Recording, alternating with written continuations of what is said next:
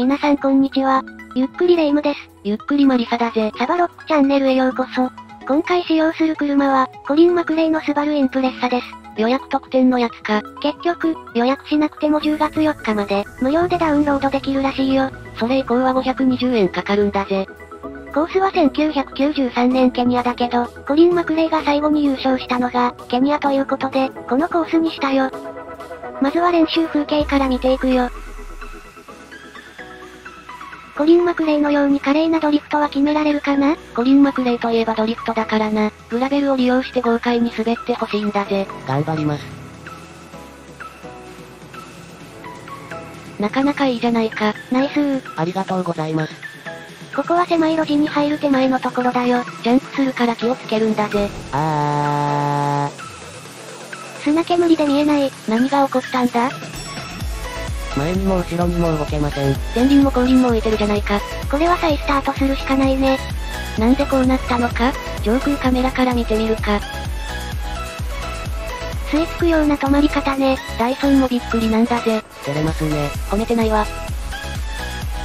終盤の高速コーナーの様子よ。高速だから迫力あるんだぜ。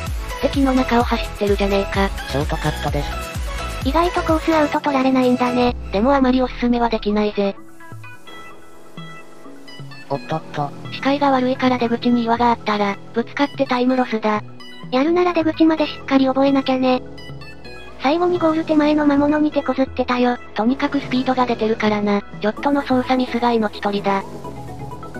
最後にやらかしちゃうんだよね。フライアウェイ。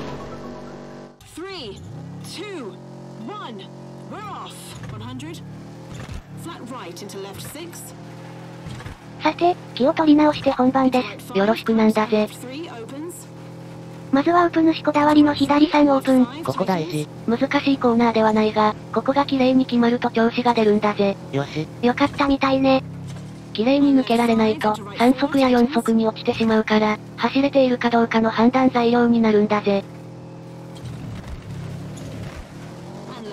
ここもスライドいい感じ。今回のテーマはコリン・マクレイだからな。コリン・マクレイは派手なドリフト走行と、限界ギリギリまで攻めるがゆえに、派手なクラッシュも多く、別名マクラッシャーとも呼ばれ、ファンを沸かせていたんだぜ。ウプ主が好きそうなスタイルね。憧れます。ここのスクエアは減速が難しいんだぜ。ついさっきまでトップスピードだったもんね。砂利で滑るからブレーキが効かなさそう。強くブレーキを踏むとタイヤがロックして、砂利で滑って余計止まらなくなるからな。エンジンブレーキと併用して減速なんだぜ。なるほど。アクロポリスに続いて、ここも観客が近いね。1993年大会を再現したコースだからな。コースマップは WRC9 にもあった、ヒゲマがベースになっているぞ。距離は 7.73km と同じだが、コーナーの角度などが若干変わっているぞ。前回の感覚から修正が必要ね。タイムを縮めるには違いを見極める必要があるな。もうすぐ、あのジャンプするところだよ。ジャンプの前はブレーキを踏んで、前荷重にするんだぜ。よっしゃ。うまくいったね。前が浮いていると、この狭い道にも対応できないんだぜ。両脇に人がいてすごい迫力だわ。この時点で自己ベストを3秒縮めたよ。これは期待が持てそうだ。頑張ります。何秒縮まるかな？ここからは比較的高速なコーナーが続くんだぜ。次の右3は溝に落とすことで、自然と曲がることができるぞ。地形の凹凸を利用するのもありなのか。ラリーならではの技だな。次の右4は右から左に続く岩に注意だ。練習で何度も吹っ飛ばされてた。もう行っちゃったよ。岩を抜けるとストレートの最高速エリアだ。何キロ出るかな？ストレートとはいえ、道の凹凸には注意なんだぜ。今の衝撃はコドライバーさん痛かったみたい。200キロで飛び跳ねたら相当痛いだろうな。最高速は208キロだったね。セッティング次第ではもっと出るかもな。ただ、最高速に気を取られると加速が悪くなったり、曲がりにくくなるから注意が必要だ。バランスよくいかないとね。道の凹凸に足を取られて、踊っているみたい。はみ出してもいいところと、ダメなところを見極めていくんだぜ。ダメなところ行っちゃうと、即コースアウトだもんね。そういうことだ。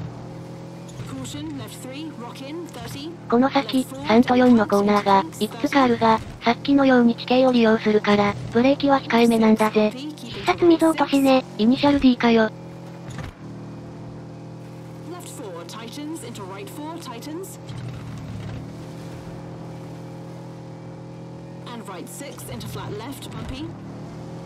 綺麗に決まると気持ちいいわ。見てても爽快なんだぜ。やったね。残り700メートルを切ったよ。最後は例の岩に注意なんだぜ。フライアウェイ。また飛ぶ気じゃないだろうな。ウプ主ならやりかねない。抜けた。よし。ゴール。